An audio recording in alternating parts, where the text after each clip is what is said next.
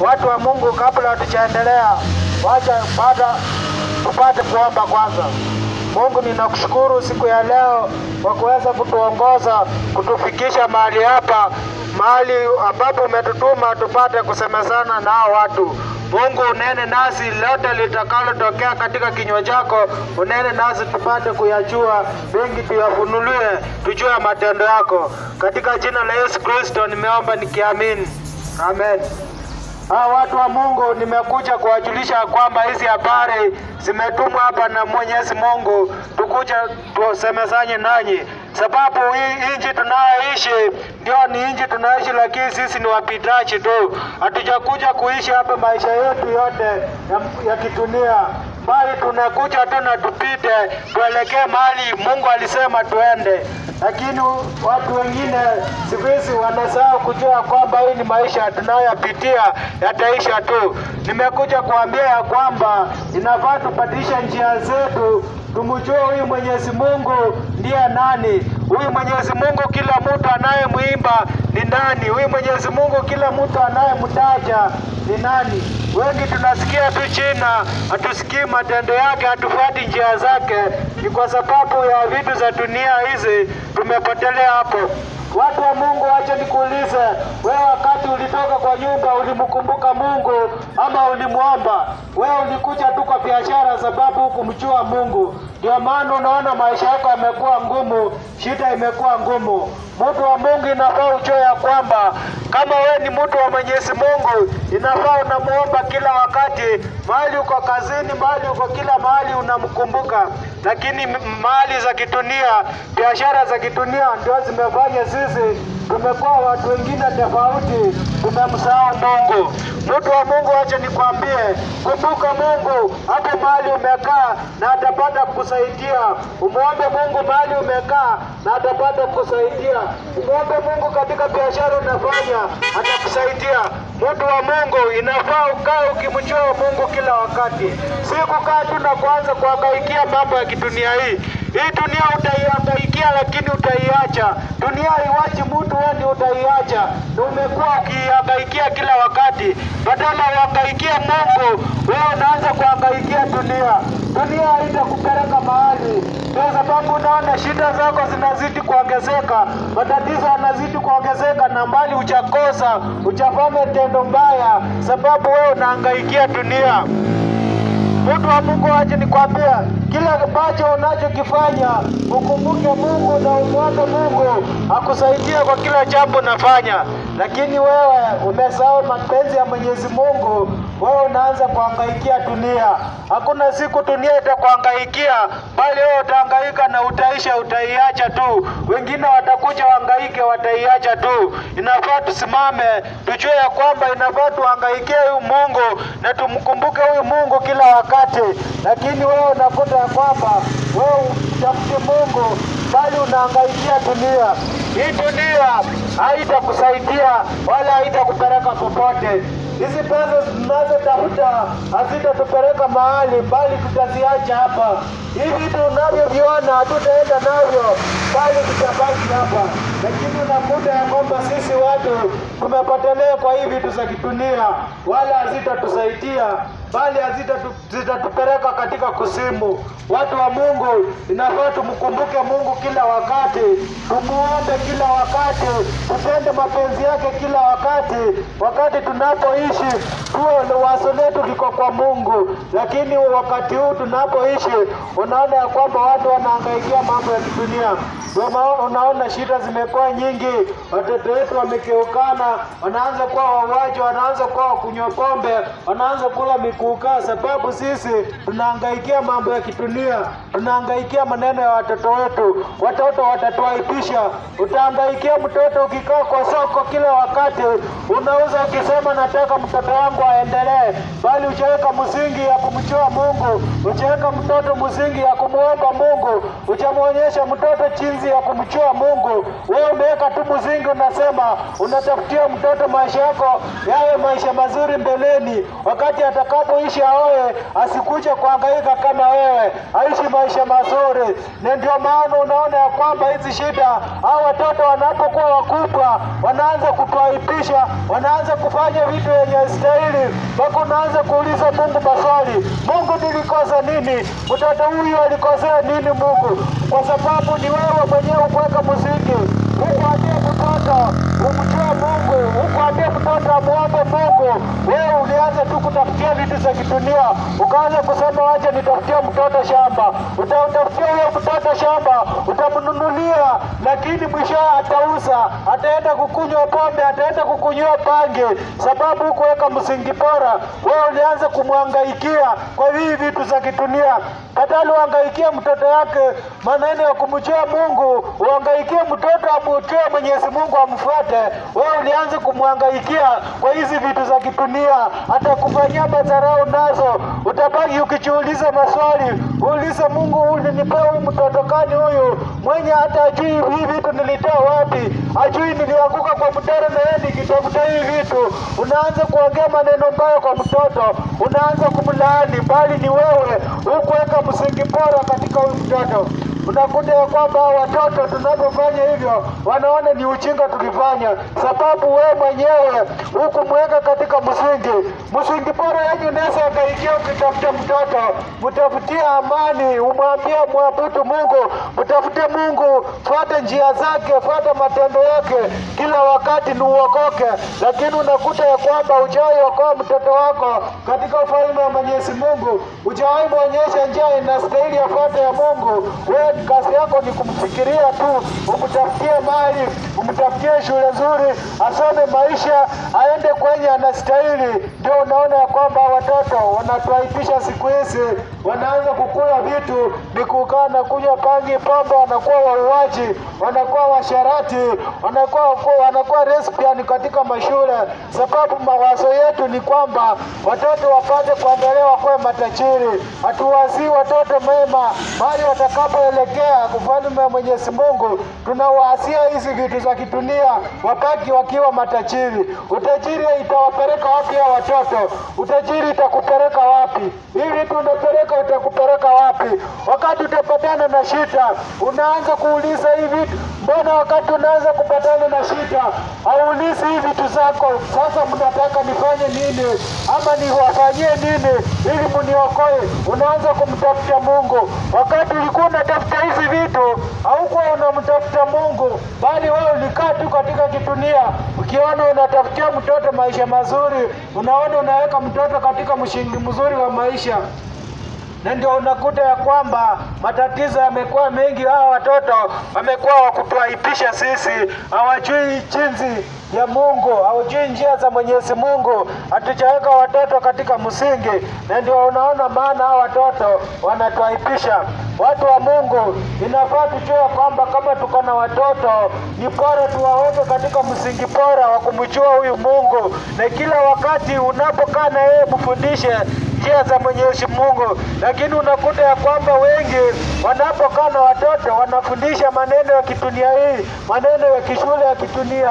Haya atapeleka wapi mtoto? Kama ni mjinga, hata mfanyie nini, hata umtoe kitabu akule, hata ajua ni nini unamfunza, sababu wewe hata umfunze maneno ya Mungu, wewe umeanza kumfunza maneno ya kitunia kidunia hii, aende shule akuwe nambari moja.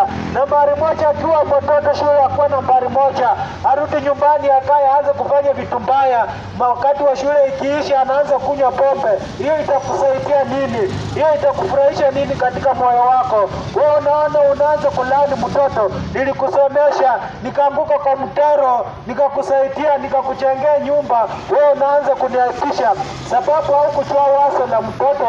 Huyu mtoto anatamani nini katika maisha, au kumweka katika msingi wa Mwenyezi Mungu. Wewe ulianza kumwekea vitu za kidunia, ukaanza kumpatia, nataka ukuwe mtoto mzuri, nataka uchenge manyumba, ukuwe makorofa, uheshimike, ukuwe mtu wa hali ya juu, ukuwe president. Unawasia mtoto vitu za kidunia, badala umpatie maneno ya ufalme wa Mungu, wewe unaanza kumfanyia vitu za kidunia. Unaona wamama wengi siku hizi wamekuwa kuwaipima katika mioyo yao, wazee wamekuwa wameachana na familia zao, sababu mawaidha mingi ndio wamama wanaokuwa watoto wanapotea. Tunapata ya kwamba tunalaumiwa sababu hatukuweka watoto katika maisha mazuri, na ndio naona vijana wa siku hizi, haswa hizi rika zetu, wamekuwa wachafu, wanafanya vitu mbaya. Sababu hawakuweka msingi bora katika maisha yao. Wazazi hawakuwafunza njia nzuri za kuelekea mahali panastahili. Wao waliwawasia maneno ya kidunia, wao washujaa, wao mapresident, wao maminista, hiyo wote. Ili- mramba. Unakuta unaanza kuwa na vikwazo katika moyo wako, unaanza kuongezea mtoto laana, unaanza kumlaani, unaanza kumkemea, unasema hata huyu si mtoto wangu, usinionekanie tena, enda kabisa upotee, hata ukufie huko sitakucha, sababu wewe mwenyewe haukujua mzingi ya huyu mtoto, haukujua lengo ya huyu mtoto. Wewe unaanza tu kumuwekea mawazo yako ya kwamba atachirika, akuwe na vitu, asome, aende ng'ambo. Ng'ambo kwenye anaenda ni wapi? Anavuka ng'ambo kwenda kukunywa pombe, anavuka ng'ambo kwenda kukula mkuka. Hiyo ndio ng'ambo ulikuwa na wazee wa mtoto. Unakuta ya kwamba hiyo ndio inakuwa kero katika maisha ya wazazi wengi, wanaanza kulaani watoto. Inafaa wazazi tukumbuke ya kwamba kama tuko na watoto, tuwafundishe maisha mazuri, tuwaweke katika bora, tuwaweke mbele za Mwenyezi Mungu, tuwe tunawaombea kila wakati. Tunaomba Mungu aongoze wa watoto, aweke kwa njia nzuri inayostahili. Kama kuna vitu zinawaandama, kama kuna laana zinawaandama, unaombea mtoto hizo vitu zipate kuondoka, zisimfuate, bali kama ni laana zilikuwa za kitambo zikomee kwako. Lakini unakuta ya kwamba wewe waujui hilo, hata wengi wenu na mchawi hata kabisa, unawasia mtoto vitu vya kidunia. Hii vitu ya kidunia haitakusaidia hii vitu ya kidunia, hao watatu tunaowaasia ati vitu nzuri katika maisha yetu watatuaibisha na hakuna mahali wataenda, bali watakuwa tu wakifika wakubwa wanaanza kufanya vitu vyenye wanastahili. Ukimwambia fanya hili jambo, anakuambia wachane na mimi, wewe ulifanya yako ukaisha, wewe achane na mimi nifanye yangu. Na ndio unaona ya kwamba wamama wanakuwa kero kwa watoto, watoto wanakuwa kero kwa wamama, sababu mawazo yenye ulikuwa unawasia mtoto akiwa mdogo amekuwa mkubwa, amekugeuka, anasema achana ma, mami, achana na mimi, nimekuwa mtu mzima, ninachielewa. Yenye anachielewa hata akili yenye anachielewa, anachielewa kuingia katika vitu za dunia, katika dhambi za kidunia, sababu hatukuwajaa watoto msingi bora, hatu- hatukuwafunza maneno ya Mwenyezi Mungu. Inafaa tuelewe ya kwamba hawa watoto tunaoishi na wao siku hizi, hata shule hizi tunazoziona, hatuombei watoto. Hii shule zingine zimekuwa za mapepo. Watoto wanapoingia kwa mashule wanashikwa na mapepo, wanaanza kuwa wazimu. Unasikia watoto wanapanga kuchoma shule. Ni nini inaingia watoto? Sababu wazazi hatujawaanzia watoto maisha mema, hatujawafunza vitu ya mbinguni, hatujawafunza matendo ya Mwenyezi Mungu. Tunawafunza venye watatajirika, wenye watasoma waende ng'ambo, wenye watasoma hawatawahi fanya kazi zao za kuajiriwa. Wao watu wa kuajiri watu wengine. Hii shule yote mkiwazia watoto wote, unaambia nyinyi wote mtasoma, mkuwe mainjinia, mkuwe nini, mkuwe mafundi, mkuwe mapresident. Na hata hata mtafunza watoto wa- njia nzuri ya Mungu. Unakuta ya kwamba watoto labda wanaposoma hiyo shule wanakuwa wazimu, wakitoka hapo wanaanza kuwa wa kutafuta uchafu kwa mitaro, wanafuruta mitaro uchafu, sababu unaanza kuuliza Mungu ni nini? Ni msingi ulioweka katika watoto. Inafaa muombee watoto na muwafundishe mema ya ufalme wa Mwenyezi Mungu, tuwaweke katika msingi, wasije wakatuaibisha sababu hii kizazi bali tunaelekea, hakuna yule mtu ata- ataokoa mwingine, sababu tutakuwa wote tumeangamia. Hakuna yote atakayesikia neno la Mungu. Aikubali, sababu hao vijana siku hizi wameharibika, hao vijana siku hizi si wa kutegemeana. Mauaji wanajichukulia majukumu yao wenyewe, wanafanya venye wanataka, hawataki kupata sheria, na ndio unaona hii nchi yetu mahali tunaelekea, tutakuwa na huzuni katika mioyo yetu, tutakuwa na lawama, tutalaumiana sisi wenyewe, tutauliza Mungu ni nini ilianguka, na kutokojua sisi wenyewe ndio tunaharibu. Tunawafundisha watoto venye watatajirika, tunakataa kuwafundisha maneno ya Mwenyezi Mungu, na ndio unaona ya kwamba hii nchi yetu imekuwa na tatizo kubwa. Watu wamekataa kumjua Mungu, wanaposikia neno la Mwenyezi Mungu wanaona ka, hii ni jambo la kawaida tunalisikia, ndio ni jambo la kawaida, lakini inafaa ulishughulikie. Kama wewe hujai mwabudu Mungu, ujai mjua Mungu, mtafute Mungu, uanze kumkiri, uanze kuabu- kuabudu yeye. Kama ulitenda dhambi, uanze kutubu na umfuate, naulize Mungu nifanye nini, sababu hii dunia watu tumekuwa tunajitafutia, ndio tunajitafutia hizi vitu, lakini tutafute pale, tutafute Mungu kwanza. Mungu ndio akuwe mbele yetu, atuongoze kwa kila jambo, lakini usipomtafuta Mungu utakaa na hiyo vitu zako, labda hata hii biashara yako au kuiondoa wakati ulifungua, wewe uliziweka tu hapo, ati unatafutia mtoto maisha mazuri, utakauka na hiyo biashara, wala haitaendelea, sababu Mungu alitaka umtafute. Wewe, ukatafute biashara. Hii biashara haitakusaidia, haitakupeleka mbali. Inafaa watu wa Mungu tukeuke ya kwamba tujue hii maisha tunayoishi si maisha ya kutegemeana, bali ni maisha ya kutegemea Mwenyezi Mungu, bali maisha ni kumwabudu Mungu na kutenda venye Mungu anataka. Lakini unakuta ya kwamba haya maisha tunaishi watu tumesahau jina la Mwenyezi Mungu, tumekataa kutenda lenye anataka, tunatenda lenye mawazo yetu inatuongoza. Kama wewe mawazo yako inakuongoza vizuri unafaa ufikirie kwamba usiwahi ulaumu Mungu kwa kila jambo litakalotokea katika maisha yako. Kama ni shida, kama ni nini, usiwahi mkumbuka Mungu, sababu wewe wakati ulikuwa mzima hujamkumbuka Mungu, wakati uko vyema, wakati unaongea, wakati unatembea, hujawahi mfikiria Mungu. Unakojea Unangojea wakati wa shida ndio unaanza kumfikiria Mungu. Watu wa Mungu inafaa tujue kwamba huyu Mungu ayuko hayuko kwa sababu ya shida, tukojee shida ndio kucha Watu wa Mungu inafaa kwamba wako kila wakati, inafaa tumtafute kila wakati, kila saa, inafaa tumwombe, tuombee watoto wetu, tuwaweke katika msingi bora, wawe wa- wa- wa- wa kumjua Mwenyezi Mungu, wao wa kukomboa hii nchi yetu. Kwa yale mapito tunayopitia, kwa ile shida yanayokuja. Wewe angalia tu kitu kidogo kilitokea, ugonjwa wa korona, watu wanaona tu ni jambo la kawaida, ugonjwa inakuja bila bila dawa. Watu wanaona ni jambo la kawaida. Usipokuwa Mkristo, usipoamini jina la Yesu Kristo, utaangamia na hiyo magonjwa. Msipoamini Mungu, mtakufa tu, sababu hamtaki kumfuata Mungu, hamtaki kutenda venye Mwenyezi Mungu anataka. Nyinyi mnatenda venye mawazo yenyu nawaambia. Wewe unafuata njia yako venye mawazo yako inakwambia. Wakati shida inakufuata, usianze kumuuliza Mungu, uliza mawazo yako venye inakuongoza ikusaidie hapo pengine.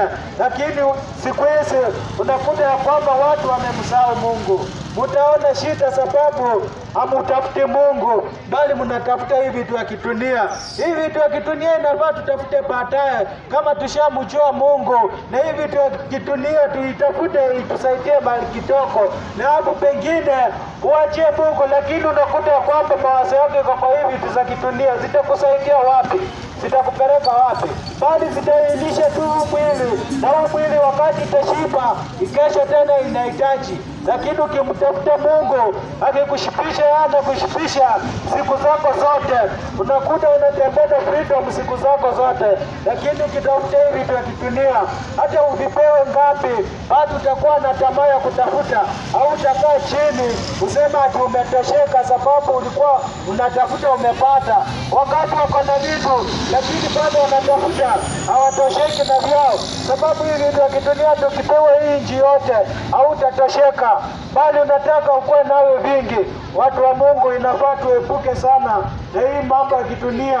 Kama hata kama tunatafuta riziki ya kidunia, tutafute kwa mpango unayostahili, tutafute kwa njia inayostahili, sio tutafute kwa njia zingine zenye hazieleweke, bali tunauane ndio tupate hii vitu, bali tunasalitiana ndio tupate hii vitu, tunaendeana kichini chini ndio tupate hii vitu, na ndio naona hizi vitu zitatuangamiza, zitatumaliza.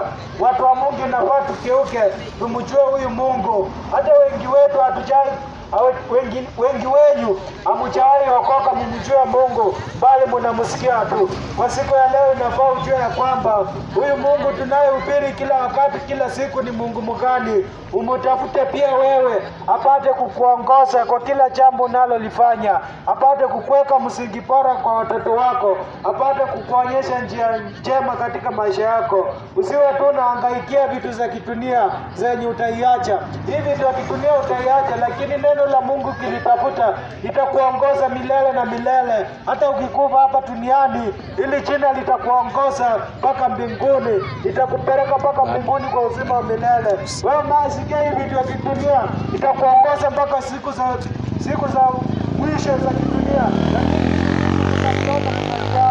sababu hakutaki kujua mambo ya Mungu. Ni mmegeukia mali za kidunia, umeanza kufuata mambo ya hii kidunia. Watu wa Mungu, tuachane na zambi, tumfuate Mungu. Tuachane na mali za kidunia, tumfuate Mungu.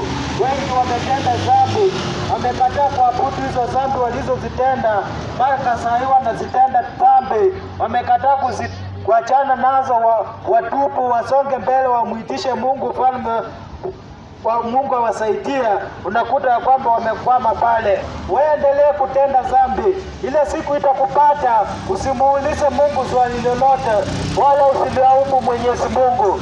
Mungu sio wa kulaumiwa, wewe utalaumiwa sababu wewe umekaa badala utupu dhambi zako umfuate Mwenyezi Mungu, wewe bado unaendelea kuzitenda. Wewe zitende tu, hata Biblia inasema shetani alizitenda tangia mwanzo na atazitenda mpaka mbele, lakini wewe umeingia katika hiyo kitabu, unatenda zambi unakataa kujua kwamba umetenda zambi. Wewe unatenda tu kitenda, hutaki kutubu, uachane na zambi ubatilike Wewe umepaki pale, hiyo zambi itakukula wewe, itakula na watoto wako, nitakuangamiza, itakula na vichukuu yako, usipomtafuta huyu Mungu akuokoe, akutoe katika hiyo dhambi. Watu wa Mungu inafaa mjue ya kwamba kama unatenda dhambi, kama utamjua Mungu, utubu makosa yako, umfuate huyu Mungu. Lakini usipofuata huyu Mungu, wanaona naona utaishi katika hii dunia utaishi lakini utaishi maisha ya wasiwasi, utaishi maisha ya kuangaika utaishi maisha yenye haina mwelekeo kwako. Utaona maajabu yakifanyika kwa watoto wako, utakuwa unalia mpaka unajiuliza maswali, ni kwa nini Mungu alikupea watoto? Ndio Mungu alikupea watoto, lakini we mwenyewe ukaweka dhambi mbele, au kusaidia watoto au kuombea watoto, utakuwa unaitika mwenyewe, utakuwa unajiuliza maswali mpaka dakika ya kukufa sababu umekataa kutubu, umekataa kukiri makosa yako. Wewe unaona uko sawa. Hakuna mtu katika hii dunia uko sawa. Kila wakati inafaa ujue uko na dhambi, inafaa ujue unatubu kila saa, kila dakika. Ukitubu dhambi kila wakati unatubu dhambi, ukimwomba Mungu akusaidia kuongoze, sio wewe tu kukaa pale ukisema mi nishaokolewa. Mwenye ashaokolewa ni yule anaokoka na anaenda, lakini kama wewe umeokolewa na uko katika hii dunia, inafaa ujue kwamba kila wakati inafaa kuwa unatubu zambi, kila wakati unafaa unaomba, kila wakati unafaa kuwa unaomba Mwenyezi Mungu msamaha, akusamehe, akuongoze kila wakati. Usione tu wewe uliokoka ukafika mwisho, ukafika pale na bado unapumua, bado unaishi. Watu wa Mungu inafaa ujue kwamba huyu Mungu tunamwomba kila wakati, inafaa tumwabudu kila wakati, inafaa tumkumbuke kila wakati, akae kwa mawazo yetu, akae kwa mioyo yetu, atuongoze.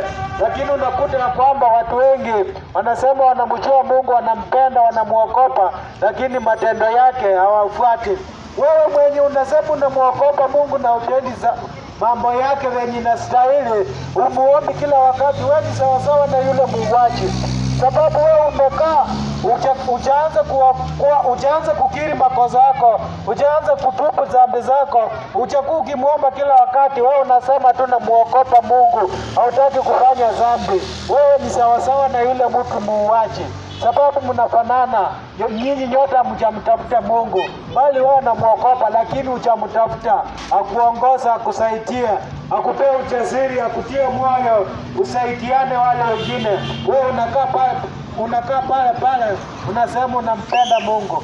Watu wa Mungu inafaa mjue ya kwamba kama Mungu amewapenda, kama unapenda Mungu inafaa muombe kila wakati, ukuwa unakiri dhambi zako kila wakati, ukuwa unamwomba msamaha kila wakati, akusaidie na akusamehe na akuongoze na alinde watoto wako na alinde jamii yako, aiweke msingi bora wa maisha kuliko kwanza kulaumiana baadaye. Wewe unalaumu, mtoto anaanza kuwa mkubwa na kulaumu, bwana mami, ninateseka hivi. Unakosa jambo la kuambia mtoto, sababu nateseka ni hii na hii. Wewe unaanza kusema wewe mwenyewe ndio hujajipanga katika maisha. Maisha gani ya kujipanga? Usipomtafuta Mungu akupange, akuweke njia bora, unaambia mtoto wewe hukujipanga, unaharibu maisha yako. Watu wa Mungu inafaa mjue kwamba kama Mungu aliwapenda nyinyi, inafaa mkuwe munamuomba kila siku, kila wakati, munamkumbuka, mnakiri makosa yenu, munaombea watoto wenu, munawafundisha man- maneno ya Mwenyezi Mungu, munawafunza wajue kwamba huyu Mungu yuko, inafaa wamfuate, wamtegemee yeye. Hata kama anaenda shule, akuwe na wazo la Mwenyezi Mungu kwa akili lake, itamsaidia. Tusipo tu tunawatafutia vitu za kidunia hii, hii vitu wataziacha. Hata wakikuwa wakubwa, ukiwapewa taarifu, watazikula, zitaisha, zitawaangamiza, zitaharibu maisha yao. Hata wewe mwenyewe utaona ya kwamba kweli hii ni dhambi, kweli hii ni tabia mbaya. Watu wa Mungu inafaa mjue kwamba kama Mungu amekupenda, kama Mungu amekuokoa, na wewe uokoe wengine, uwaweke katika msingi bora wa maisha. Kila wakati inafaa tunafundishana neno la Mwenyezi Mungu, sio kuulizana maneno ya uchumi yetu kuhusu hawa viongozi wetu. Hawa viongozi hakuna mahali watatupeleka, bali tukianza kusemezana maneno ya Mwenyezi Mungu, na Mungu ako na mahali pali atatupeleka. Lakini unakuta tunakaa vyama, tunaanza kuongelelea kuhusu nchi yetu, tunaanza kuongea kuhusu uongozi wetu, tunaanza kuongea kuhusu vitu tunavyoviona katika mali hii ya kidunia. Hii vitu hakuna mali itatupeleka inafaa tuwe tunakaa chini tuna, tunaelezana mawili matatu huyu jambo la Mwenyezi Mungu, kumjua huyu Mungu na kupenda haki na venye yeye anataka. Watu wa Mungu, nafaa tukeuke tumfuate huyu Mungu, tuwe tunamuomba kila wakati, tunakiri makosa yetu kila wakati. Usione tu wewe uko sawa, ati uliokoka hauna dhambi. Dhambi uko nayo kila siku. Wakati umeokoka, umeokoka umekaa hapa kwa njia, unaona mtu amevaa vibaya oredi, umemtazama na macho, hiyo ni zambi umetenda oreti sababu umeangalia kisicho stahili kuangaliliwa. Inafaa unakuwa unaomba msamaha kila wakati. Usione tu wewe umeokoka au hauna kosa, Mungu amekuokoa. Kila wakati tunatenda zambi, wakati tunaona, wakati tunatembea, tunakuza vitu ndio wakati tunatenda dhambi. Hata kama hujaua mtu, venye tunatazama vitu za kidunia hii, hivyo vyenye tunaongeza kutenda dhambi. Tunafaa watu wa Mungu tukumbuke ya kwamba tuwe tunamwomba Mungu tu- tuweke katika msingi bora, tuokoe katika hii dunia.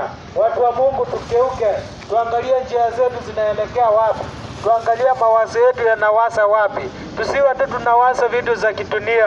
Hii vitu ya kitunia itatuangamiza. Hii vitu ya kitunia inafanya tunauana, haitupeleki mahali, lakini watu hawataki kuona hayo, wanaona wako sawa na hizi vitu za kitunia na hii mali ya kitunia. Hii mali ya kitunia tunapoitumia, tunapokaa nayo haitatusaidia. Watu wa Mungu, tumtafute huyu Mungu kila wakati kila saa mahali tumekaa tunamwomba Mungu, sababu yeye ndio alituweka tumtafute, lakini unakuta ya kwamba watu wamekaa wamekataa kumtafuta. Sawa sawa, wewe kaa tu ukataa kumtafuta, lakini siku itafika utajua ya kwamba huyu kweli alikuwa Mungu, alikuweka kwa dunia hii na sababu zake, alikuweka kwa dunia hii na mpango wake, lakini wao wamekataa kufuata mawazo ya Mwenyezi Mungu, wanafuata mawazo ya dunia hii. Watu wa Mungu, mgeuke, mjue huyu Mungu ni nani, mwanze kutupu makosa yenu, mwanze kukiri dhambi zenyu, mumfuate Mungu, mumuombe, muombe watoto wenyu, mwanze kufunza watoto jinsi ya kumfuata Mungu, jinsi ya kujua matendo ya Mwenyezi Mungu. Tusiwe tu watu wa kukaa na kutafutia watoto vitu za kidunia. Hii vitu za kidunia vitatuaibisha wakati wa mwisho, wakati wa hukumu. Hii vitu ya dunia au- hautaviona vikisimama pale, ati hii vitu vya ulitafuta, bali ukakataa kumtafuta Mungu. Watu wa Mungu, tumtafute Mungu, tumuombe kila wakati kwa yale machache umesikia, upate kuyashughulikia, upate kutazama moyo wako, ujue ni yapi unafanya, ujue ni matendo gani unafanya, ujue ni njia gani unazozitenda kutafuta huyu Mwenyezi Mungu. Kusiwa tu unakaa na kutafutiana na vitu za kidunia, zitakuangamiza. Kwa yale unasikia ya kusaidia, ya kuongoze katika moyo wako. Wacha tuamini